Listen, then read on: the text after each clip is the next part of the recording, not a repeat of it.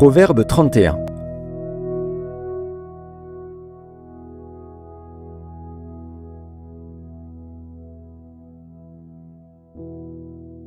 Parole du roi Lémuel, sentence par lesquelles sa mère l'instruisit. Que te dirais-je, mon fils? Que te dirais-je, fils de mes entrailles? Que te dirais-je, mon fils, objet de mes voeux?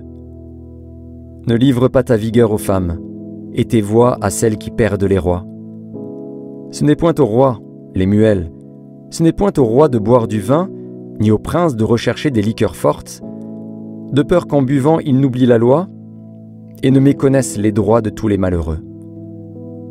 Donnez des liqueurs fortes à celui qui périt, et du vin à celui qui a l'amertume dans l'âme. Qu'il boive et oublie sa pauvreté, et qu'il ne se souvienne plus de ses peines. Ouvre ta bouche pour le muet, pour la cause de tous les délaissés. Ouvre ta bouche, juge avec justice, et défends le malheureux et l'indigent. Qui peut trouver une femme vertueuse? Elle a bien plus de valeur que les perles. Le cœur de son mari a confiance en elle, et les produits ne lui feront pas défaut. Elle lui fait du bien, et non du mal, tous les jours de sa vie. Elle se procure de la laine et du lin, elle travaille d'une main joyeuse. Elle est comme un navire marchand, elle amène son pain de loin. Elle se lève lorsqu'il est encore nuit, et elle donne la nourriture à sa maison et l'attache à ses servantes. Elle pense à un champ et elle l'acquiert. Du fruit de son travail, elle plante une vigne. Elle ceint de force ses reins et elle affermit ses bras. Elle sent que ce qu'elle gagne est bon. Sa lampe ne s'éteint point pendant la nuit. Elle met la main à la quenouille et ses doigts tiennent le fuseau. Elle tend la main au malheureux. Elle tend la main à l'indigent. Elle ne craint pas la neige pour sa maison car toute sa maison est vêtue de cramoisie. Elle se fait des couvertures, elle a des vêtements de fin lin et de pourpre.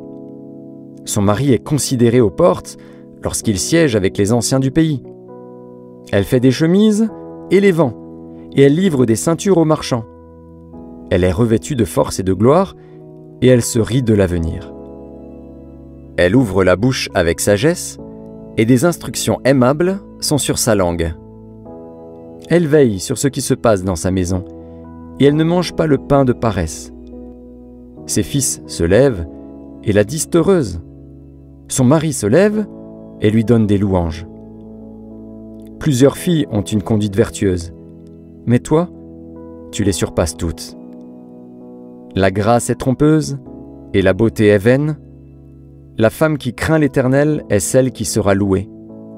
Récompensez-la du fruit de son travail et qu'aux portes ses œuvres la louent.